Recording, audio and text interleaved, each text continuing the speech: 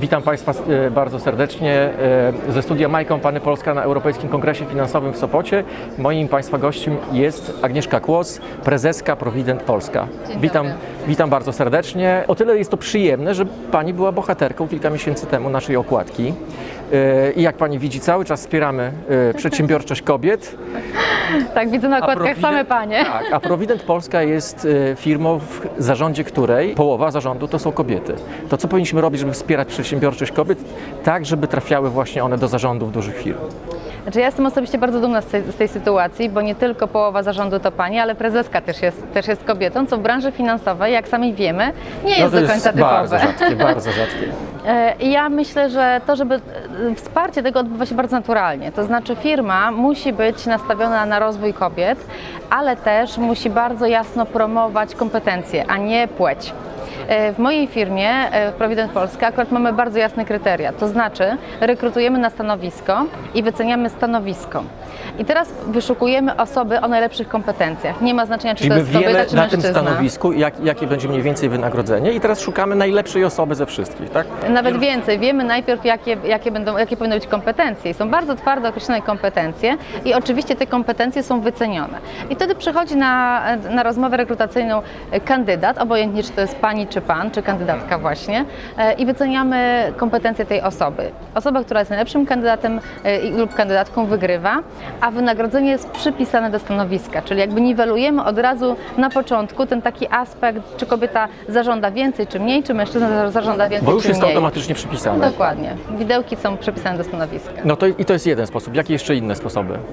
Bardzo mocno też pro, promujemy kompetencje e, kobiet. To znaczy, mamy programy dedykowane dla kobiet. Zresztą ja pracuję w takiej bardzo szczęśliwej firmie. E, u nas większość osób e, pracujących to są kobiety. I to nie tylko na stanowiskach zarządu, ale też na, stan- na stanowiskach dyrektorskich, czyli ten poziom jeden poniżej zarządu, to są bardzo często kobiety. Myślę, że to jest takie bardzo naturalne. To znaczy, te kobiety widzą, że na wyższych stanowiskach są kobiety, więc mamy do czego aspirować.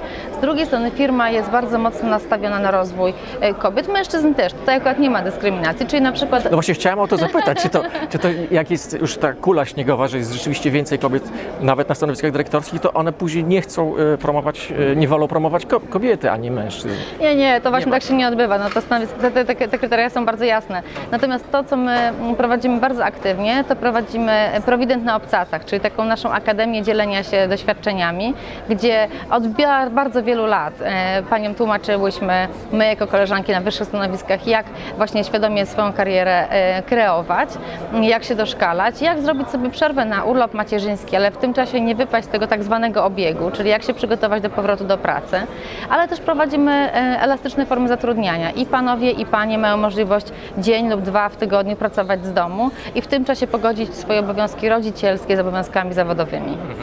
Co należy robić, żeby zaszczepić e, wśród, wśród kobiet, wśród młodych dziewczyn e, taką chęć do, e, do bycia przywódcą, do, do wchodzenia w role takie, które no, do tej pory jakby były trochę przypisywane mężczyznom. Znaczy jak zmieniać zmieniać to myślenie, jak uczyć i jakie postawy pro, promować. To jest właśnie bardzo ciekawe pytanie, dlatego że e, nam z perspektywy Warszawy wydaje się, e, że wszystkie młode osoby wchodzące na rynek, szczególnie kobiety, są takie przedsiębiorcze, aktywne i chcą budować karierę. Okazuje się, że tak nie jest.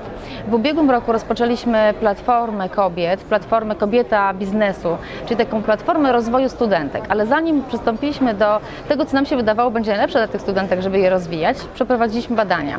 Zobaczyć jaka jest faktycznie sytuacja. Dokładnie. Zrobiliśmy diagnozę sytuacji. Czego te kobiety e, ma, czy, o czym marzą, czego wymagają, jakie są ich plany na karierę. Okazuje się, że sytuacja z czasów, kiedy ja byłam studentką 20 kilka lat temu, niewiele się zmieniła. Niewiele się zmieniło. Nadal jest wąska grupa, 17% tylko osób, które chcą myśleć aktywnie o swojej karierze i ją planują, ale cała reszta studentek E, oczywiście układa się w różne grupy, ale jest bardzo dużo tradycjonalistek, które chcą myśleć o rodzinie, o, za, o założeniu e, swojego właśnie ogniska domowego, o wychowywaniu dzieci i nawet jeżeli myślą o pracy, to bardziej myślą o tym w kategoriach, żeby praca była blisko domu, żeby mini kolidowała z obowiązkami e, rodzinnymi.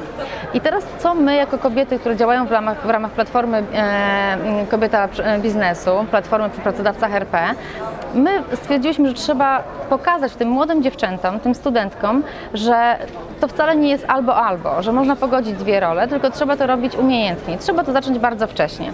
Otworzyłyśmy program men- mentoringowy, za chwilę ruszamy z konkursem dla studentek, aby właśnie im pokazać, że można te dwie role pogodzić i żadna tak naprawdę nie ucierpi, jeżeli to zrobimy dobrze. E, Chcemy to robić chociażby właśnie przez mentoring i pokazywanie takiego budowania świadomego swoich kompetencji. To nie jest tak, że jak skończę studia jako świetna specjalistka w danej dziedzinie, to natychmiast będę kierowniczką. Nie, bo będzie mi brakowało kompetencji, głównie w zakresie leadershipu. I chcemy pokazywać właśnie tym dziewczętom, że kompetencje trzeba rozwijać nie tylko w ramach ekspertyzy, ale też iść szeroko, czyli rozwijać też kompetencje menedżerskie.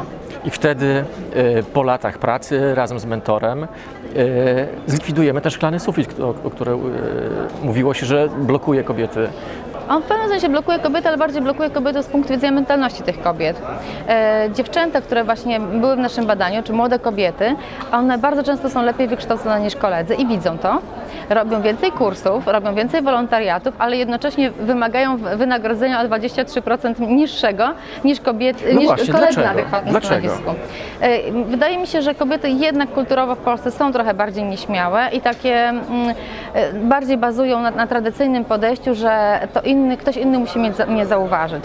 Też jest taka cecha bardzo często, którą obserwuję nawet wśród moich koleżanek profesjonalistek e, w moim wieku, taka na zasadzie, a może jeszcze nie jestem wystarczająco dobra do tego stanowiska. Kobieta uważa, że jest dobra dopiero jak ma 100% albo 120% kompetencji. Bardzo często zdarza się, że mężczyzna mając 80% kompetencji na danym stanowisku już uważa, że jest wystarczająco dobry, a resztę się douczy. No miejmy nadzieję, że się uda e, tą sytuację poprawić, zmienić. Ja obiecuję ze swojej strony, że będziemy promować e, kobiety także w organizacjach, ale również będziemy promować kobiety, które zakładają własne organizacje, no bo fajnie jest założyć własną firmę i tam być jej szefową. E, bardzo dziękuję. Moim Państwa gościem była pani Agnieszka Kłos, prezeska Provident Polska. Dziękuję serdecznie. Dziękuję bardzo.